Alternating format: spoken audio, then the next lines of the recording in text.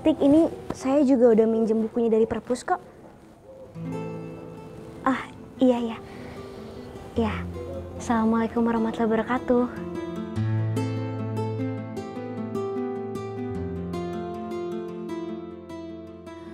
Pasti Rido ngantuk banget gara-gara minum obat flu tadi.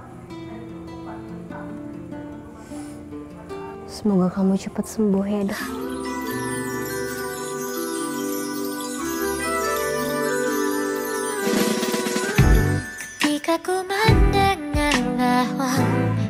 Kau tak lagi dengannya. Dalam benakku timbul kenyang Kamu itu selalu kelihatan sabar dan kuat dok. Di hatimu bertahta. Bahkan saat saya susah, kamu selalu ada buat nolongin saya. Namun siapkah kau tuh jatuh cinta Tapi kenapa sekarang malah kamu yang kelihatan punya beban yang berat? Saya harap suatu saat nanti kamu bisa ceritain semuanya yang terjadi. Safakilah dok. Semoga kamu cepat sembuh.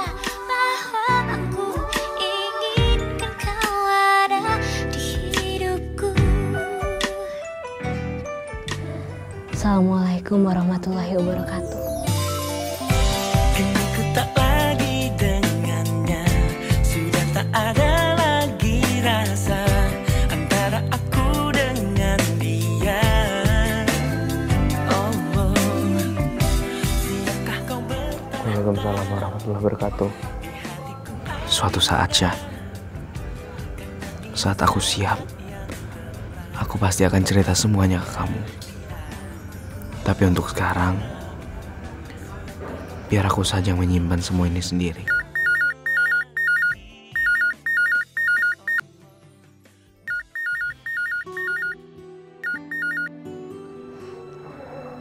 Assalamualaikum. Waalaikumsalam. Dok, maaf ya saya tadi nggak sempat ke sekolahan. Masih ada urusan di kantor. Tapi kita tetap jadi ketemu kan? Oh iya nggak apa-apa pak, tetap jadi. Kalau boleh tahu ketemu di mana kita ya? Ah, gini dok. Kebetulan saya lagi di masjid. Deket kok dari sekolahan kamu. Nanti saya share location ya. Oh ya udah, nggak apa-apa. Eh, tapi saya nggak bisa lama-lama ya pak, soalnya mau langsung kerja di kafe lagi. Oh iya nggak apa-apa. Sampai ketemu nanti pak. Assalamualaikum. Waalaikumsalam.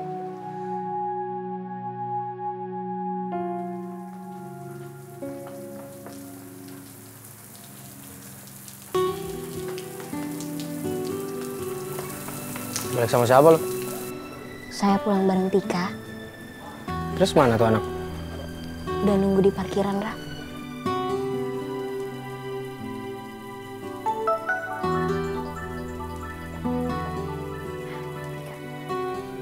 Assalamualaikum warahmatullahi wabarakatuh, Tik.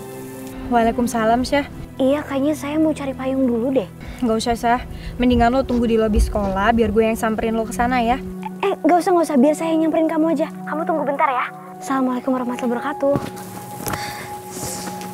Kayaknya pakai ini aja deh. Masihkah ada dia di hatimu bertahta Atau ini saat bagiku untuk singgah di hatimu Namun siapkah kau tuh jatuh